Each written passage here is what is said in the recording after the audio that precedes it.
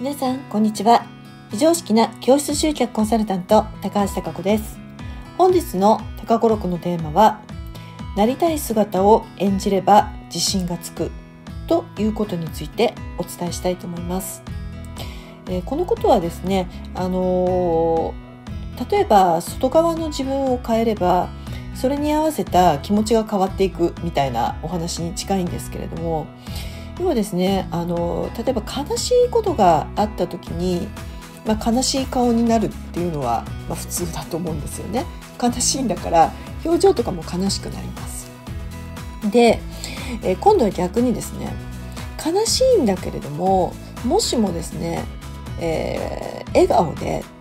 楽しい楽しいっていうふうに言ってニコニコ笑顔でですよ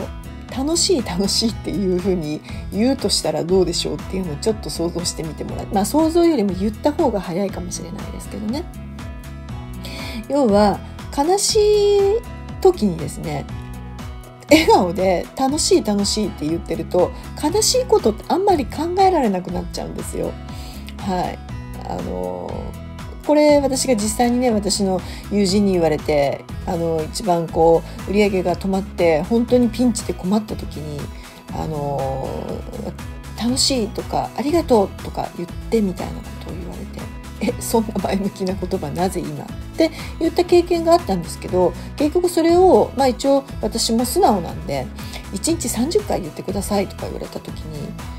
え、とか言って楽しい楽しい楽しいとか言って 言ってたんですけど楽しいっていう言葉を笑顔でって言われたらそんなにね口角が上がるのであの悪いように言えないんですよ。でそれを言ってるうちになんか逆に悲しい気持ちっていう風になれなくなっちゃう。やっぱりいい言葉を使って笑顔でいると悲しいことって言えなくなっちゃうし考えられなくなっちゃうんですよね。ということはこれを使うとなりたい姿を先に演じる。先に演じます。例えば私の場合で言うと、まあ、著者本を書く人になりたいっていうふうになる、ね、本を出版したいって思った時にまだ著者になってないし作家にもなってないんですよ。なってないんだけれどもあのサイン作ってます、えー、サインできる日のために。2年前ですけどね。まあ、その2年後に本を出版してるんですけれども、まあ、要はなりたい姿を先に演じているということになります。はい、あとはだいたい取引先とかと大きな商談とかある時ってキャパシティを試される時ってあるんですよね。